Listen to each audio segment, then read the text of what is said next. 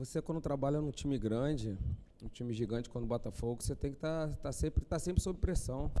A expectativa é boa. Eu falei isso lá atrás. Eu, eu, eu prefiro a gente, a gente ser cobrado por uma classificação na Libertadores do que por um rebaixamento.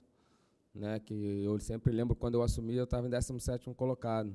E hoje a gente está em quinto, cara. Então, não, essa pressão tem que existir. Você trabalha em time grande, a gente sabe que é assim. E você, você vai fazer o máximo sempre para alcançar o melhor. E esse máximo a gente vai saber na última rodada. Na, na, na 38ª rodada, como foi o ano passado. Nós vencemos do Grêmio e a gente classificou. Então está tudo em aberto. Faltam quatro partidas e a gente vai vender caro, como sempre nós fizemos, para a gente conseguir os nossos objetivos.